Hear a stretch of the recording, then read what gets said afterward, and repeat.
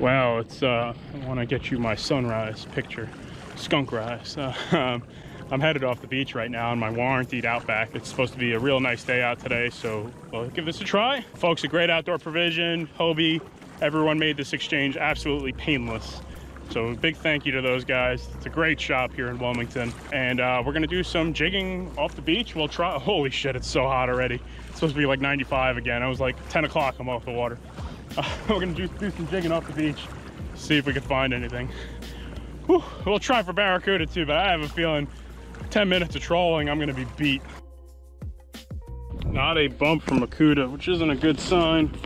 I don't like that. That means one of two things. No fish or sharks. And sharks aren't good and no fish isn't good. So either way, that's not good. But we got a lot of bait in this uh, area code. Threadfin herring, stuff like that. But um, yeah, let's just try jigging first. Scattered structure down here. I mean, this is a big area I'm fishing, so gotta work it a little bit. Try to locate some life. Might be a lot of flounder out here. There might be a big donut. I haven't flounder hit fished here in a little bit, so I'm guessing with you guys, look at this adventure. That's a flounder. Yep.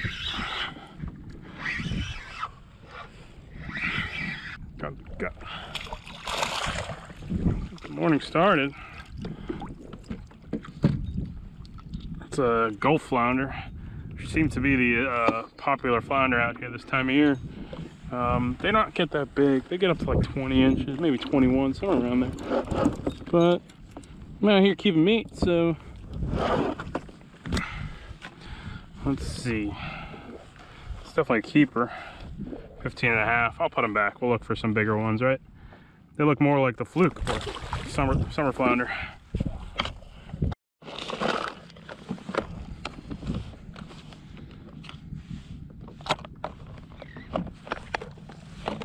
Broke off our first jig. It's okay though. Alright.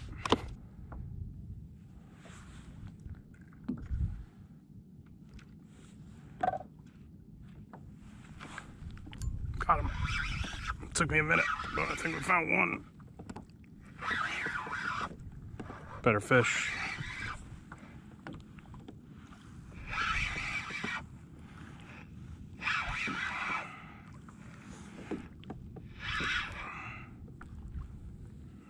Yes, net. First one, first one fits the bill. Keep that one. Southern flounder.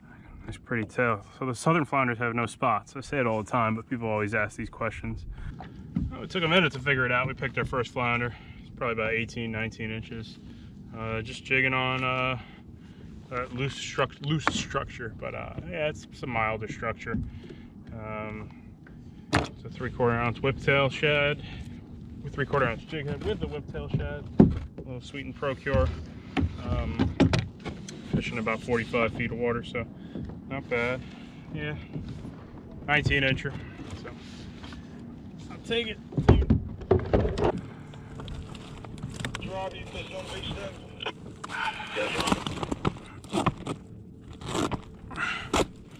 So this is a 50 foot structure. So it's not big. Not at all, actually, really. Um, it's got a lot of heavy snags on it and some milder ones.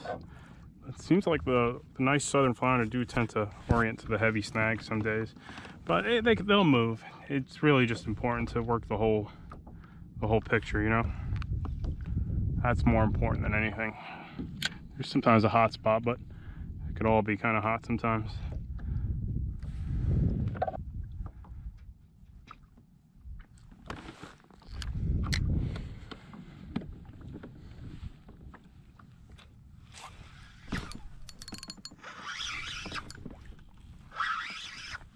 Good fish. Good fish.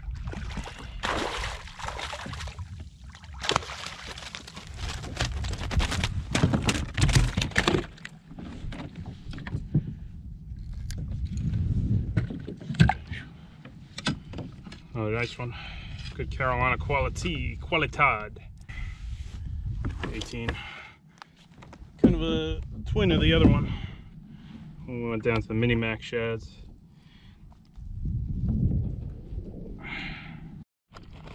We basically have no drift here, so I want to make sure I'm hitting every corner. Oh. I want to make sure I'm hitting every corner of these, these structures here. Uh, not covering much ground. It is sticky too, so it's fun, fun fishing.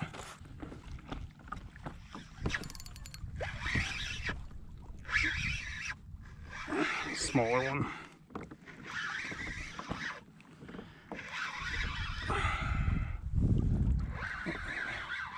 Ah, look at that. Gulf flounder and southern flounder living in harmony.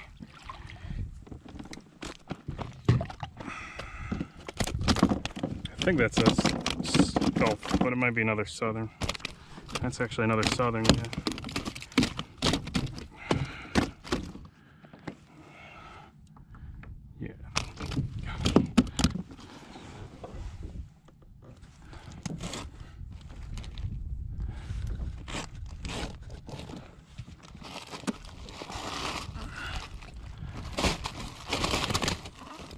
Solid hit that I had there, man. And I think he was right next to that structure. I missed him and then I bounced a couple more times. And that's it. How this goes, man. And that was another decent fish for sure.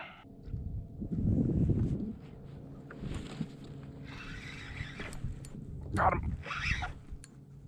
Is that a flounder? It is. It's just about to move to a different spot. Took about two hours. We picked our limit, a little under two. Some decent fish.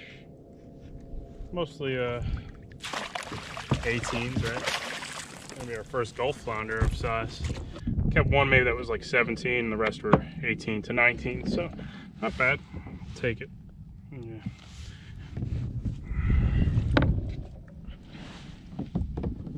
Gulf flounder and southern flounder living in harmony. No fluke today. I'm gonna get a single fluke. All right, uh, I'm gonna work my way back to the beach. I trolled around for barracuda for like hour and a half. I didn't get, I had one blow up and that was it. So no, no hits really. Ended up with five keeper flounder, a couple 18s, 119. It's a little different on the Cuda versus last year. It's just not happening with them. And there's, you know, not seen Spanish mackerel or anything like that. But been a strange summer for most of the coast. Sounds like the better fishing is definitely up north uh, this year. Learning things as I go, as I'm very new to this area. Uh, trying to apply what I learned last year from this area, just from trial and error. And it's like almost like I just moved here again because uh, it feels like every time I just don't know what to expect and it's um, not really repeating itself or too consistent. The flatties have been consistent it. Everything else has been kind of a kind of a crapshoot. So anyway, uh, we're gonna work our way inshore right now and fish along the beach quick. Uh, see what's doing, see how crowded it is. Gonna make a very dedicated effort not to drag this boat on oysters ever. And the other thing is I'm gonna change out my Hullivator rack. My Thule rack may be in the heat and the traveling. That's kind of what I'm thinking could have done something to this kayak. The last kayak, it was, you know, I was traveling the coast. It was 90 degrees out. That Thule Hullivator rack is kind of tight on these Hobies. Maybe the heat didn't let it contrast and properly and cause that drive well split. Um, I've never split a drive well myself. I've had a customer do it uh, years back, but I'm gonna try my best to take whatever preventative measure, preventative measures uh, in the future uh, to ensure the longevity of this Outback. Honestly, this Outback probably will not see any back bay use. I kind of made up my mind. We're going to use that Predator PDL, all my inshore stuff, and the Outback is only going to see ocean, sand, surf launches. And uh, yeah, we'll see what happens, man. We, we need a good tug, right? Let's see if we can find something. It's not a shark. We're not looking for sharks. We're looking for scales. Something with scales. Let's see.